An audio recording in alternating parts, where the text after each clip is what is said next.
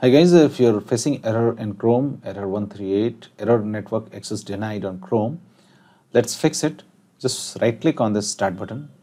Now click on run and now type app data, click on OK. Now uh, once this app data folders opens up, click on local. Now click on Google folder. Now click on Chrome.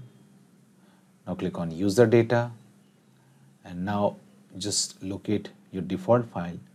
Now we have to delete this folder okay? But make sure that any chrome which is running just close all the browser instances okay? Just close all the chrome browser open in your computer and then delete it okay? Right click and delete it okay? Once this gets deleted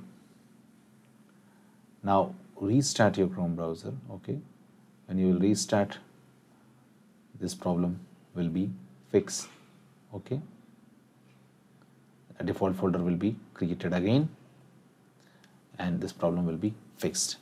If this does not fixes your problem uh, try to you know uh, if you have any third party antivirus installed like McAfee or any antivirus try to disable it and then try again and it will fix your issue or try to restart your uh, router this also fixes the issue in most of the cases. That's it guys. Please do like the video